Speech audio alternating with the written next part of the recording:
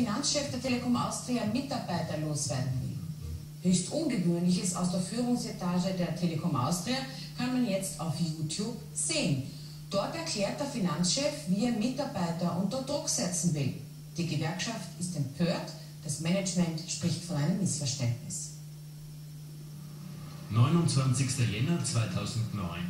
Gernot Schießler, der Finanzchef der Telekom Festnetzsparte, erklärt Investoren, wie die Telekom unkündbare Beamte loswerden könnte.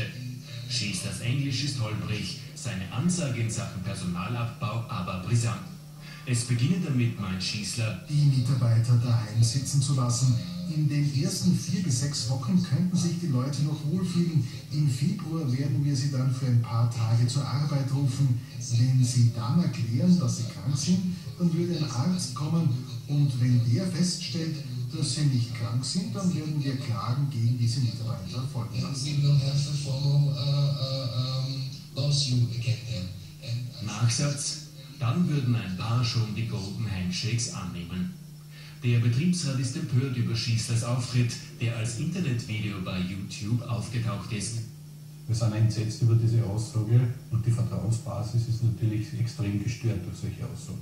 Es sei vereinbart gewesen, dass hunderte Beamte, die vorübergehend nach Hause geschickt worden waren, umgeschult werden sollen. Nun fühlt sich der Betriebsrat vor den Kopf gestoßen. Schießler hat sich von seinen Aussagen bereits distanziert. Die teilstaatliche Telekom bestreitet, dass Beamte hinausgemobbt werden sollten. Im Gegenteil, man biete ihnen sogar offene Stellen. Wir haben 600 Mitarbeiter, die zu Hause sitzen. Diese Mitarbeiter werden regelmäßig eingeladen, sich diese Jobs anzuschauen und können hier Arbeit bei uns haben. Unter Beschuss ist auch die Post. Nach einem Bericht des ORF-Magazins Thema müssen überzählige Beamte im sogenannten Karriere- und Entwicklungscenter ihre Zeit absitzen, wie Aufnahmen mit versteckter Kamera zeigen.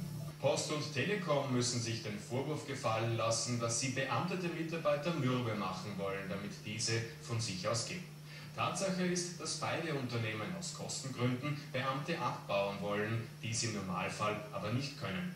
Unter dem Druck der Börse hat man in der Telekom-Spitze nun offenbar keine Scheu, in Sachen Personalabbau auch fragwürdige Methoden ins Spiel zu bringen. Berichtet Georg Hansmeier.